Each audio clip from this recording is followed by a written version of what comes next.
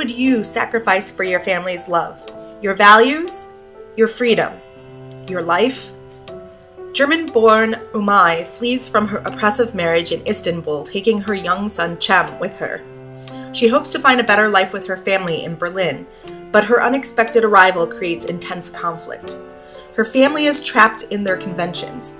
They are torn between their love for her and the traditional values of their community. Ultimately, they decide to return Cem to his father in Turkey. To keep her son, Umay is forced to move again.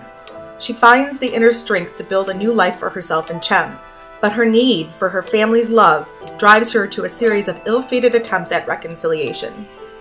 What Umay doesn't realize is just how deep the wounds are and how dangerous her struggle for self determination has become. When We Leave, directed by Feo Aladag and starring Sibel Kekilli, is an incredibly powerful drama with a gut wrenching twist at the end of the movie, which will leave viewers in tears. Kekilli gives a compelling and beautiful performance as Umay, desperate for her family's love yet unwilling to live under oppressive religious laws and community expectations. Filmcatcher is happy to give When We Leave our highest rating of two thumbs way up, and we encourage you to see this movie in theaters when it opens in the US in limited release on January 28th.